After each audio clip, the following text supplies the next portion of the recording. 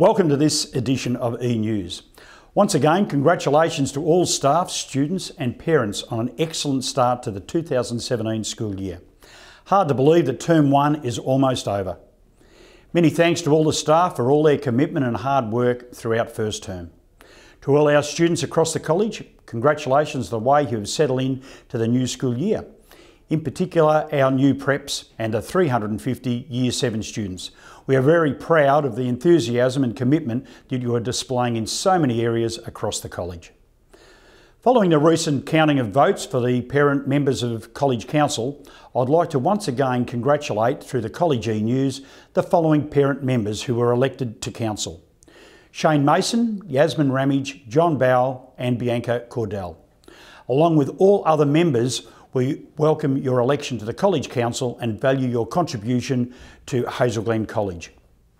I'd like to take this opportunity to thank all nominated parents for your interest in being on our College Council and I would like to certainly look to your contribution to Hazel Glen College in one way or another in the future. The College Council met for the first occasion for new members on Monday evening. Congratulations to all involved as we continue to set the focus and conversations about the direction of our college over the next few months. As an active council, current issues that are on our agenda include sustaining our enrolment growth with open conversations regarding future students, staffing and buildings. Ensuring we deliver a rich and diverse 21st century curriculum that matches the needs of our students and our local community in particular subject selections as our senior students move into Year 10 and beyond. We are often having discussions about traffic management issues around our college. Also, the provision of additional play yard uh, space and structures uh, around our school uh, yard. Our college open day will be held on Saturday the 29th of April between 9am and 1pm. The open day will officially launch our enrolments for 2018 school year.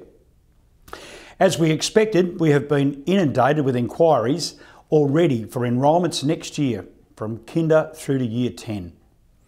Our open day provides an opportunity to showcase our college to parents and families, not only looking to enrol their children for 2018, but also as a great opportunity for parents and grandparents to drop into the college and see how we tick. Also, please be aware, as a means to control our significant enrolments we have already experienced in the last three years, we will soon be publishing a neighbourhood school policy that has been approved by the Regional Director. This policy will clearly state that Hazel Glen will now only accept enrolments for those students where our college is a designated neighbourhood school. At the first opportunity in Term 2, we will place this policy on our college website for all to see. The enrolment policy will apply for both primary and secondary students wishing to enrol at Hazel Glen College. Outside of Year 7 and prep enrolments, parents who wish to uh, have their children be part of our college in 2018 will need to attend an enrolment interview before an enrolment will be accepted. Preparation is underway for this year's Anzac Day service next month. A number of programs will be held both here at the college and also at Laurimar Cenotaph. Importantly, we will have a significant representation from the College at the Anzac Day dawn service that will be held at the Laurimar Cenotaph commencing at 5am on Tuesday the 25th of April.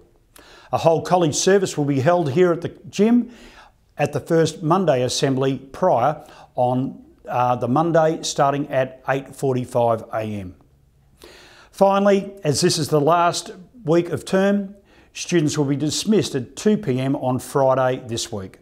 Have a safe and enjoyable first term break and importantly, if you are travelling, especially over the Easter holiday period, please drive safely on the roads. A reminder that a pupil free day, a curriculum day will be held on Tuesday the 18th of April. Therefore, we look forward to seeing all the students back on our first day in term two on Wednesday the 19th of April. Thank you very much.